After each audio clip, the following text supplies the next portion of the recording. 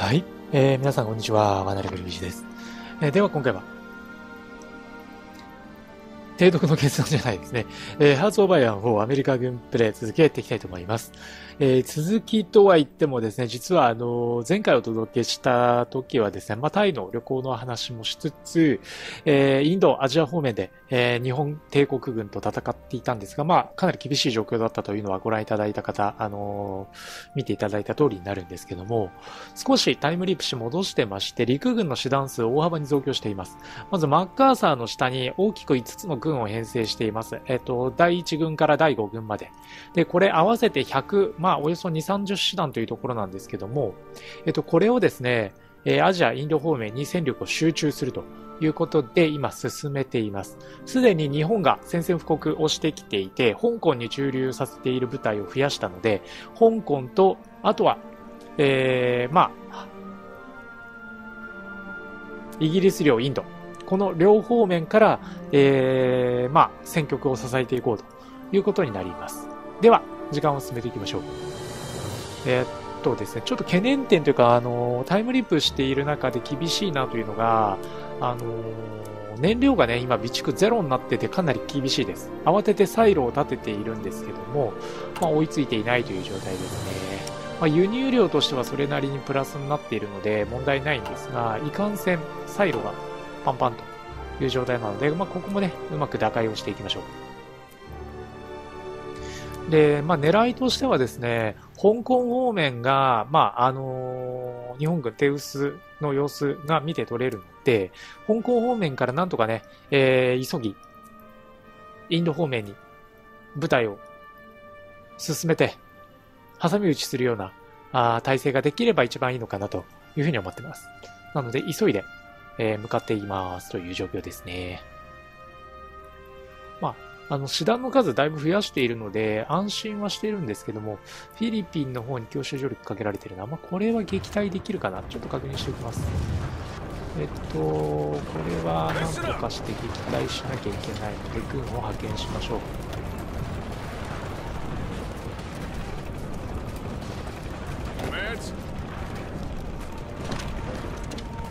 フィリピンの方にもね、6師団今配置している、これがこのフィリピンの駐屯部隊なんですけども、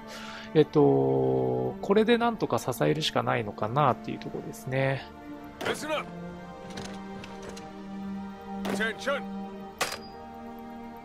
で、肝心の大陸方面ですが、こんな状況。まあ、インドシナ方面国境付近はさすがに日本軍も防御が硬いというか、えー、師団がそれなりにいるのか、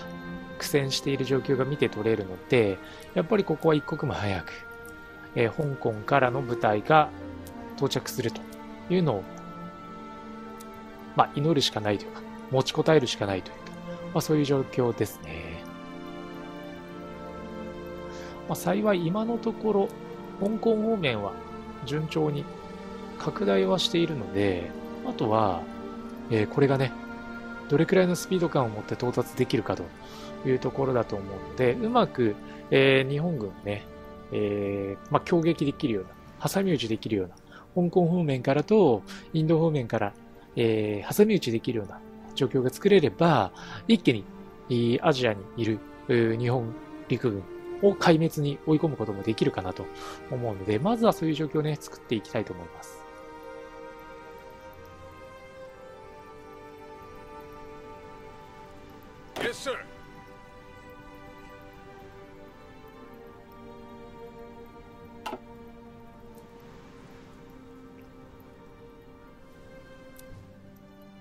とは、香港に多少飛行場に余裕がないけど、ないけど、ここは無理してでも飛行機配備して、この飛行機で制空権を取りに行く。いや、それでもやっぱり、制空権、しっかりとしたものが取れるわけじゃないね。この辺りはさすがよ。日本。まあ、香港、マカオをしっかり確保できれば、個人的に特にマカオ大好きなんで、まあ、ツイッターのね、あのー、プロフィール欄見ていただければ、出没場所としてマカオが出てるぐらい、マカオはね、やっぱりね、えー、可愛い女の子多いんですよね、マカオも。もうしばらく行ってないんですけど。さあ、どうだ？これで、今のところ、香港方面は優勢。えー、インド方面は、まあ、劣勢な状態でなんとか現状維持という状態ですかね。フィリピンに上陸してきてる日本軍を駆逐するのがまずは先決だな。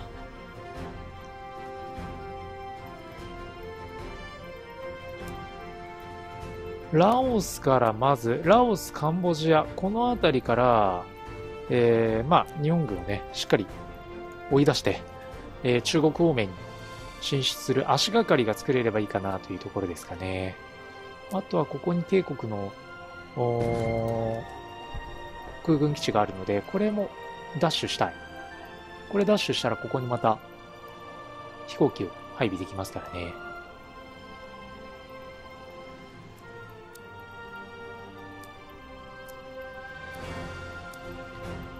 制海権はもう見たくないぐらい厳しいだろうな。だよね。こうなるよね。だって今、海軍動けてないからね。全くもって。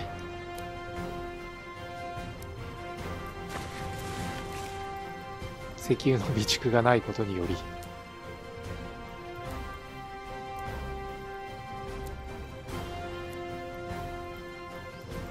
まずは日本から資源を奪う資源地帯を奪取する。よし。これで基地確保したね。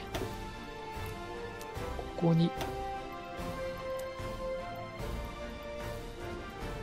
戦闘機。近接航空支援機。うーん、数が足りないね。本当に数が足りない。近接航空支援機。とはいえ、ちょっとでも、数を出してあげたい。いや、日本軍化け物だな、本当に。ここに来て、香港から上陸していった部隊も、ややその進軍スピードがあ停滞気味になりつつあるという状況ですかね。まあ、幸いなことに、えっ、ー、と、フィリピンに上陸してきた、えー、帝国はあ駆逐してますね。で、あとは心配なのが、確認しておきたいところとして、マラカ海峡。ここは一応勝利はしたか。まあ、とはいえ厳しいよな。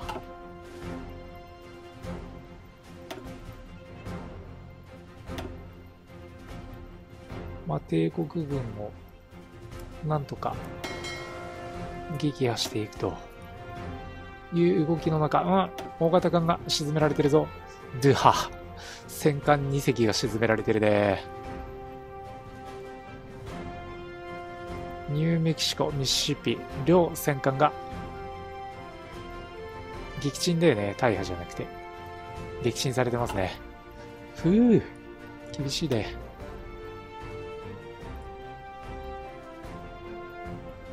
高木さんの艦隊にしてやられた形だな南シナの方は厳しい戦いという状況ですね。まあ、海軍が壊滅するっていうのは絶対に避けなきゃいけないんですけど、まあ、まずはね、えー、陸軍で先の失敗を取り返すという意味では、あのー、前回までのプレーだとやっぱり海軍中心に、えー、舵を切っていた部分を陸軍の方に切り替えたので、まあ、当然陸軍は強くなってご覧の通り頑張ってくれてるんですけど、海軍がその分弱くなっていると、えー、いうことで、今度海軍が厳しい状況になっているっていうのが現状ですね。なので、どっかのタイミングで海軍の方にまた戦力をね、えー、集中していくっていうような、まあ、切り替えが必要になってくるんじゃないかなと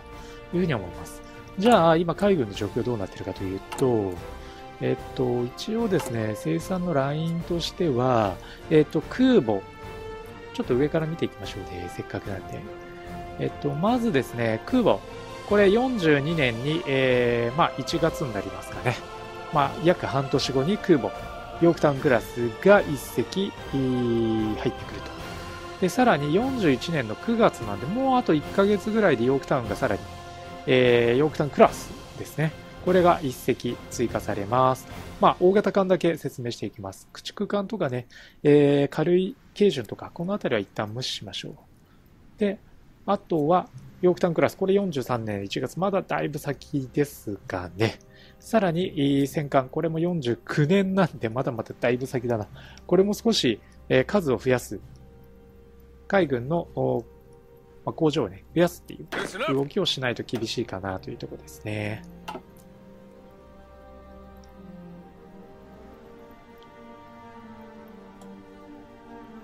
なんとかインド方面はこらえてくれていて、これをいち早く香港から来ている部隊で飲み込むというのが理想なので、ちょっと今、うん、えー、香港からも少し、停滞してますけども、これイギリス軍もうちょっとさ、えー、部隊派遣してほしいよね。結局香港でイギリス領、まあ今はね、もう返還されてますけども、もともとイギリスが占領していたところで、前回プレイしていた中では、もう早々に飲み込まれてましたからね。帝国に。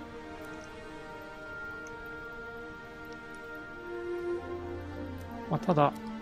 前回よりはまだまともにプレイできているな。前回はもう、ただひたすら、自利品という言葉がぴったりの展開でしたから、それに比べるとしっかり戦ってくれているかなという状況ですね。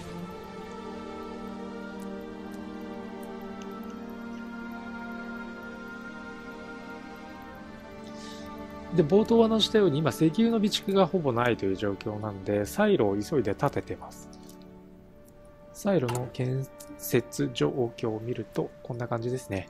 えっ、ー、と、上2つ、ワイオミングとネブラスカ、ここに、えー、サイロを慌てて、えー、建設中という状態です。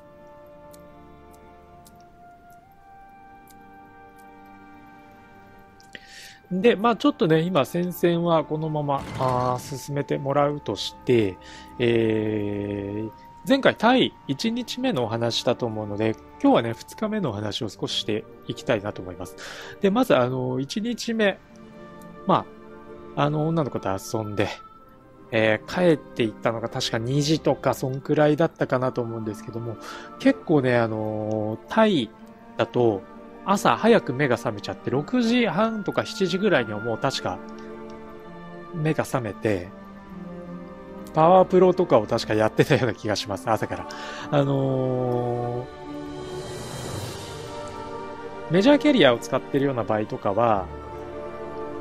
あの、航空機の話ですね、飛行機の話。場合には、あのーゲーミング PC とかを現地タイに持ち込んで、そこで収録とかをすることもあるんですけども、今回、まあ、ゴールデンウィーク、特にすごく値段が高くて、LCC を使って機内持ち込み7キロ制限の中でうまく対応しなきゃいけないと。まあもちろんお金をね、追加で払えばいいんですけど、まあそのあたりもケチってしまって、えー、PC とか持ち込めなかったんでね、あのー、昼間ゲームとかできなかったんで、まあ、パワープロをやってたんですけど、10時とかそれくらいになったら、あのー、ホテルに備え付けの、えー、スポーツジムで、まあ、体を動かしますと、まあ、あの、これもツイッター見ていただいてる方ね、まだ言ってるわ、と思われるかもしれませんが、まあ、肉体改造中ということで、えー、まあ、一通り筋トレと、あとはジョギングですね。これをやって、まあ、お昼ぐらいに何食べたっけなと言ってもね、大したもんはいつも食べてなくて、おそらくなんですけど、えっと、ホテルが、えー、まあ、ショッピングモールと併設されているところなので、その、まあ、いわゆる、フードコートみたいなところで食べたような気がします。まあ、食事とかもほぼどうでもいいので、まあ、そんなアバウトな感じなんですけど、で、お昼はね、まったりまたパワープロしたり、ちょっとうたた寝したりして、えー、夕方4時5時ぐらいにまたエンジェル、マッサージ屋さんのエンジェルに行って、えー、まあ何度かね、えー、指名したことのある女の子がいたので、まあ、その女の子を指名して、まったり楽しむと。やっぱりあの、何度も言ってると、当然向こうもこっちを認識してくるんで、そういう女の子、まあもちろんね、可愛い、綺麗な女の子であることが前提ですけど、そういう女の子を選んだ方が、まあ会話とか、あの、プレイの内容、サービスの内容とかが、格段に充実するので、あの、気に入った子がいたら、まあ、あのー、ちょっとね、マッサージ屋さんの女の子とは積極的に LINE をこう、まあ、交換することもあるんですけど、こあの、交換はあんまりしないようにしてるんですけど、まあ、幅広く選択したいという意味で、ああるんですけど、まあ、あの、仲が良くなればなるほどもちろん、いろいろ期待できるというのは変わらないですね。で、ちょっとちらっとお話に夢中になってる間、インド方面が少し食われてるね。もう少し早く、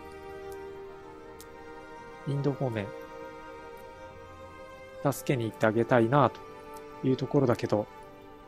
ちょっと香港方面からも少し時間がかかってるのはしょうがないですよね。でだ。飛行場がまたここに一つ見えてきてるので、これもダッシュしたら早々に確保したいね。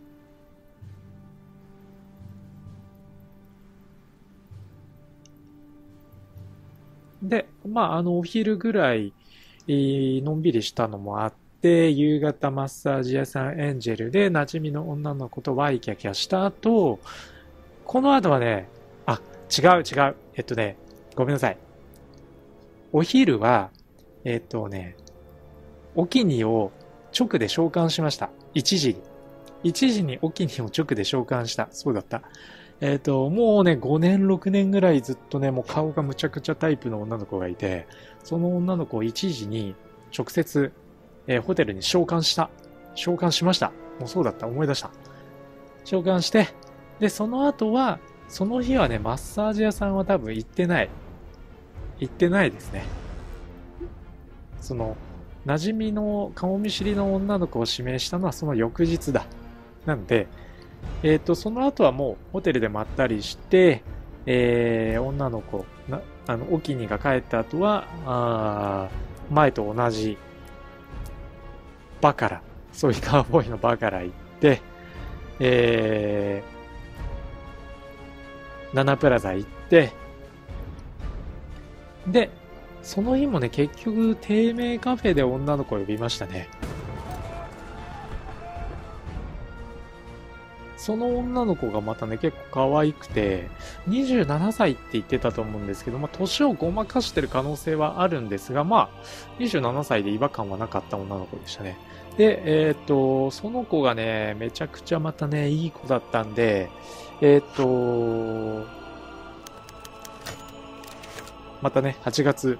行った時には、再会したいなと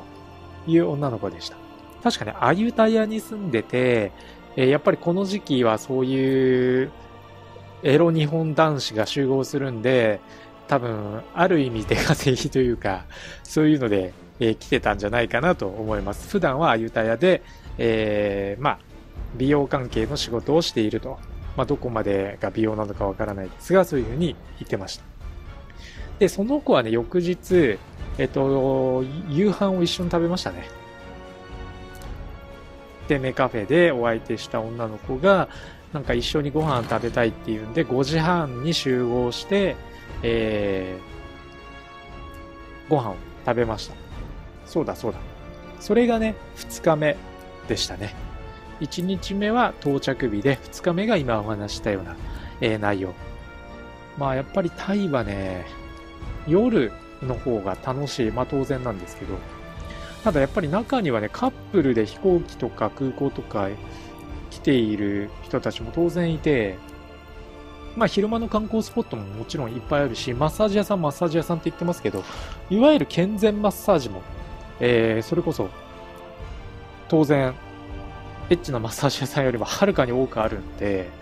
まあ、そういう意味ではカップルの方とかね、女性の方にもおすすめの国がタイなんですけど、まあ視聴者の方で、タイ興味ある方あればぜひぜひ、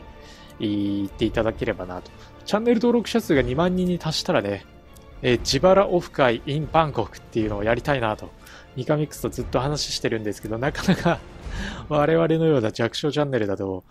あの、チャンネル登録者数が2万人に、えー、なかなか到達しないというのもあって、いつになるかわからないんですが、まあ、あの、もしね、まだチャンネル登録、未登録の方いて、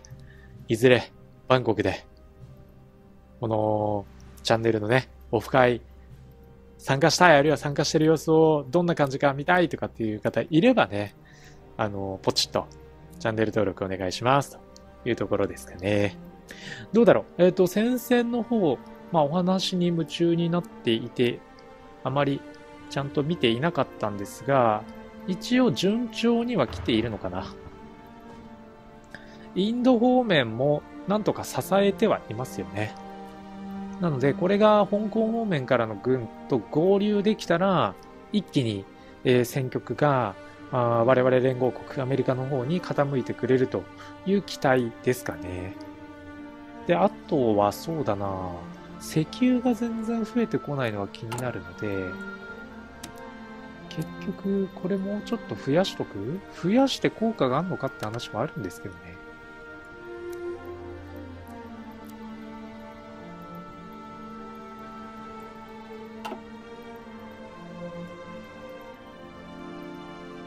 この石油、まあ、燃料の様子を、まあ、どういう、まあ、ロジックというか中身かっていうのを見ると、燃料は国の余剰石油より石油より生産されるっていうことで、今余剰はあるはずなんですよ。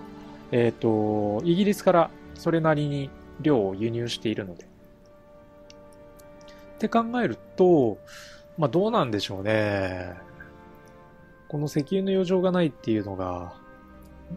どうすれば一気に増やせるのか。もちろんサイロを立ててはいるんですが、ちょっとサイロの建設状況、もう一度見ておきますか すいません。そうか、今あれだな。あのー、民需工場がカスなんで、そもそも、建設が想定した通り進んでいないという状況ですね。なので、アルミの量とかをちょっと調整しよう。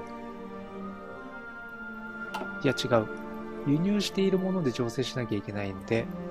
せ、まあ、とはいえ輸入しているものないわ。となるとやっぱ石油を減らすしかないじゃん。石油。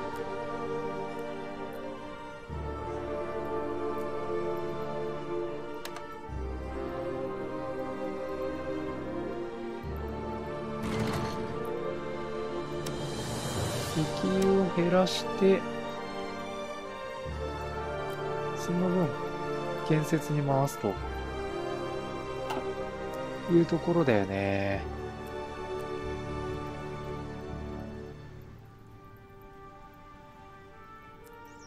石油ってそもそもさ、輸入する必要なくないっていうのもあるしね。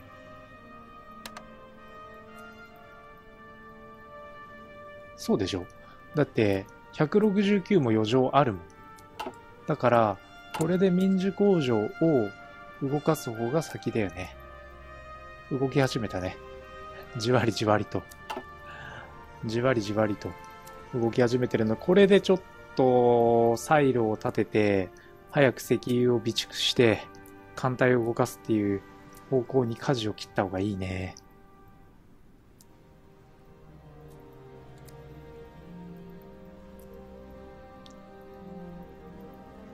で、空軍の基地は確保できたのか？まだできていないもうちょっとね、ここにあるね、ここにちょうど。ここの空軍基地を確保できたら、えー、その空軍基地にまた、あ航空機を配備して、駆逐しにかかりましょう。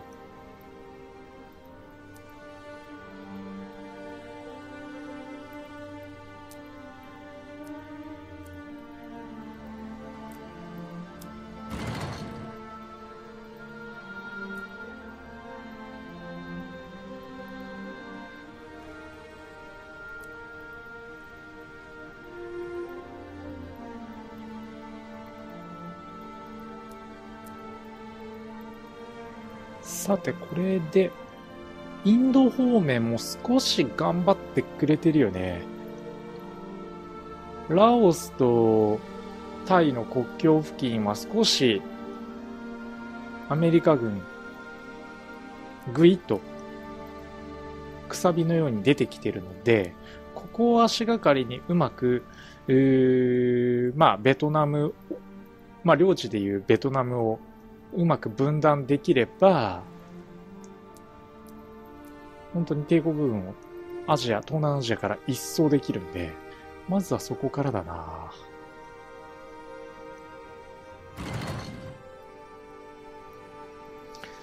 また、日本軍が強襲上陸かけてきてくれてるけど、こういうちまちま強襲上陸をかけてくれる分には、これをしっかり弾き返せれば、十分に、日本軍のね、戦力を、まあ、小、小さい師団とはいえ確実に削っていけるので、ありがたい。で、ちなみに、今の戦争への協力度で言うと、えー、っと、アメリカ15%、イギリスが33%、自由フランスが10%というところですかね。まあ、これはね、本当に数軸国の中に大東亜共栄圏も入れた中での戦い。まあ、本当に世界大戦という感じかな。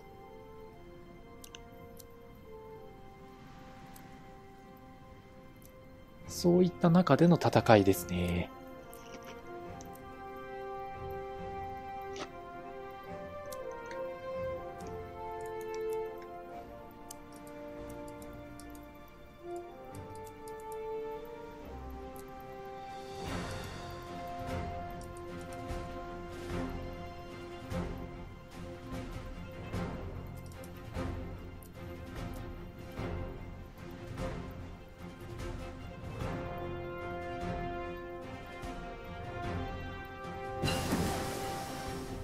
上陸を受けてはいるな。フィリピン方面上陸を受けてるので、まあ、これをうまく跳ね返すしかないかな。M2 カービィに、ちょっとこれも、バージョン上げておきましょう。まあ、陸軍で勝たないと話にならないので。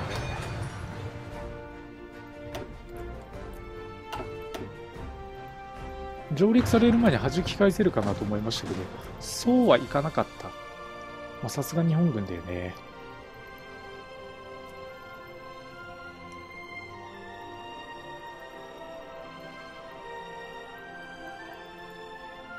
制空権がうまくベトナム上空取れていないので、まずこれしっかり確保したいんだけど、ここがなかなか敵のね、えー、航空基地があってうまく取れていないっていう状況なのかな。あとは手段を派遣してフィリピンから再び日本軍を追い出しましょう。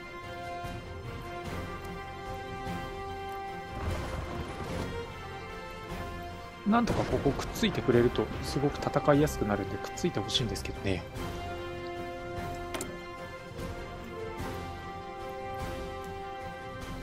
で、そうか、すっかり忘れてしまっていましたけども、航空機、新しいものにアップグレードできるものがあればアップグレードしていこう。感情無線時ワイルドキャット。グラマンに変えていきます。で、次は？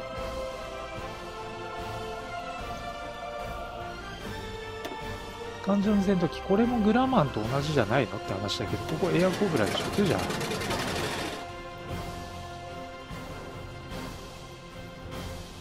あとは、ノースラップ。ノースロップはどこにいる？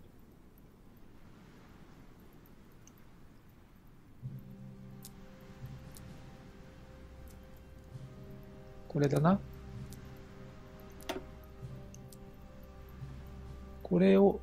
近接航空シールドの2に変えていきます。で、感情の攻撃機。感情の攻撃機ってでもちょっと待って。体感攻撃機の2マリナ。感情爆撃機だよね、こっちは。ドントレス。感情攻撃機、アベンジャー、こっちだね。これで OK かな。新しいものに全てバージョンが上がったはずです。ちょっと後でまた消えたかどうか確認していきましょう。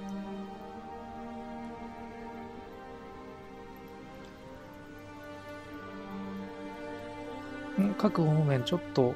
じりじりと中国との国境付近で苦戦の様子が見て取れるなこうなるとインド方面でうまく戦ってほしいなっていう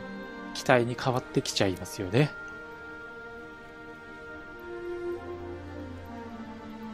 あとは制空権が取れればまた状況も変わるのかなとは思うんですが。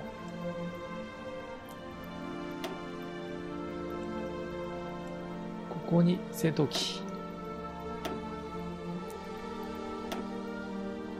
150機を配備して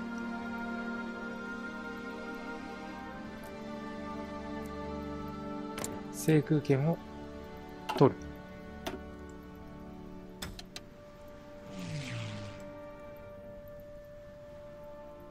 150機の戦闘機で制空権が取れなかったら、もう難しいよなこれ以上増やす余力がないので。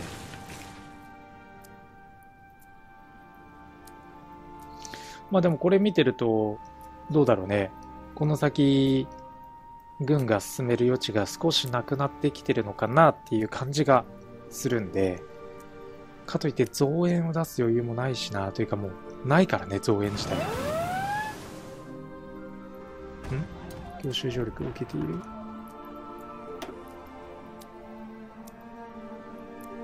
グアムだな。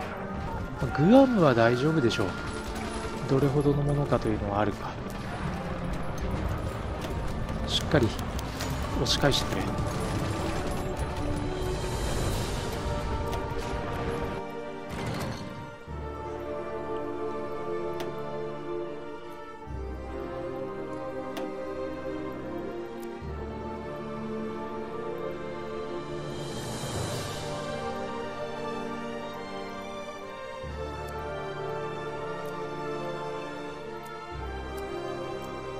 が繋がってくれればね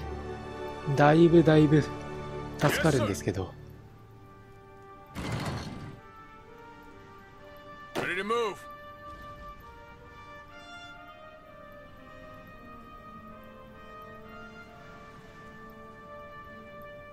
グアムがやっぱりちょっと心配。なのでちょっと見ちゃう。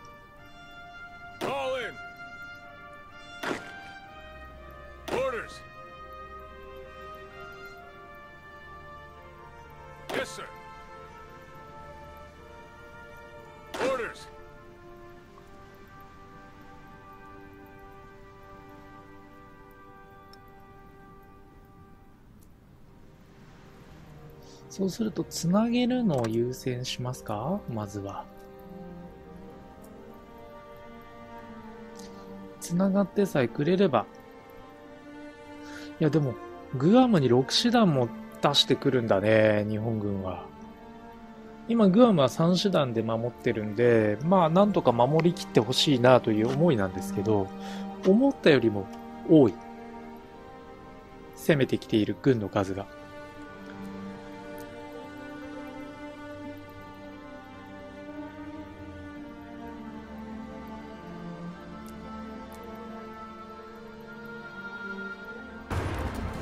でも特殊部隊というか、兵員構成見ておくとですね、一部山岳兵を入れてます。一部。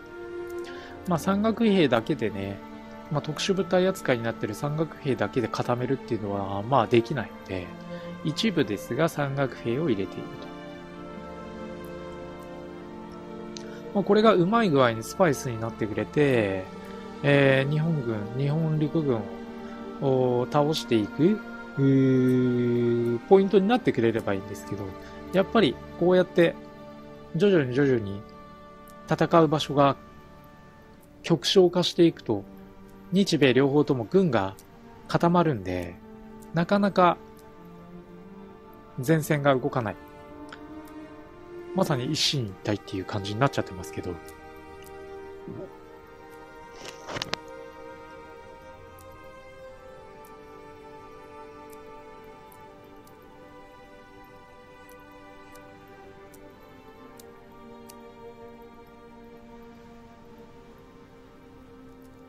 それでもじわりじわりとは来てるよね。じわりじわりと。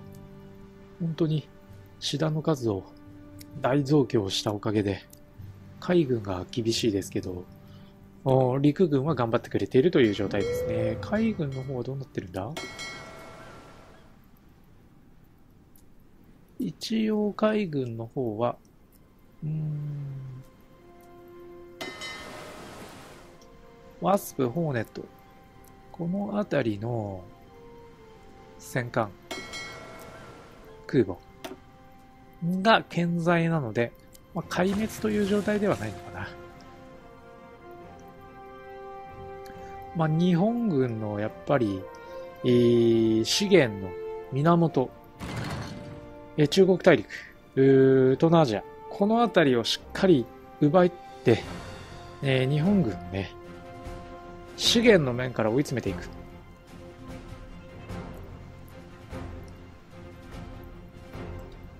そういったところになるかなと思います。では、ちょっとね、今回もあまり早送りとかしてお届けできていないので、時間はあんまり進んでいないんですが、えー、まあ、戦争はだいぶ動いているというところで、えー、今日は一旦じゃあここまでにさせていただいて、えー、次回ですね、この続き、まずはベトナム方面で、香港から来ている部隊とインドから来ている部隊合流ができれば一番いいかなというふうに思いますので、えー、続きをやっていきたいというふうに思います。では今回はここまでにさせていただきたいと思います。はい。というわけで、えー、最後までご視聴ありがとうございました。ぜひ、チャンネルの登録、あとはですね、Twitter の方で動画の収録状況と、あとは配信状況、まあ、その他もろもろ情報を発信しておりますので、え、興味のある方はぜひ Twitter の方もフォローしていただければあ嬉しいなというふうに思います。